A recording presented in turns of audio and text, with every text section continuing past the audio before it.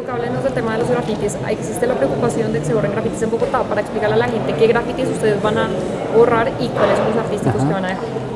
Básicamente nosotros vamos a, tolerar, a promover y a respetar todas las expresiones de grafitis artísticos que estén localizados en zonas autorizadas. Esto está plenamente establecido en, en dos decretos y eso lo vamos a tolerar, lo vamos a permitir y lo vamos a promover.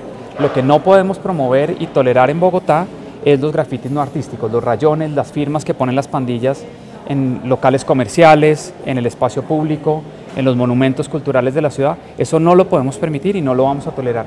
Esta mañana hubo una desinformación y es que nosotros habíamos salido a eliminar los las expresiones artísticas o los grafitis artísticos de la calle 26.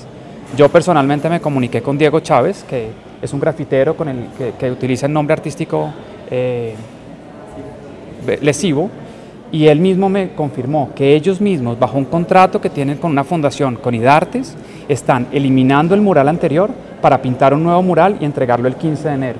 Nosotros no salimos a eliminar esos grafitis artísticos. Es lo último que haríamos y lo que vamos a hacer es promoverlo. Lo que no vamos a tolerar de nuevo es las expresiones vandálicas contra el espacio público, contra los monumentos culturales de la ciudad. Por ejemplo, una persona que eh, se ha encontrado haciendo un graffiti, digamos en la propiedad privada, uno ve que los dibujan en las puertas, en las paredes, o sea, ¿qué, sanciones pueden los, Los, los, decretos que existen actualmente establecen unas multas y unas sanciones administrativas y unas sanciones, por ejemplo, en donde ellos tienen que limpiar el grafiti que pintaron.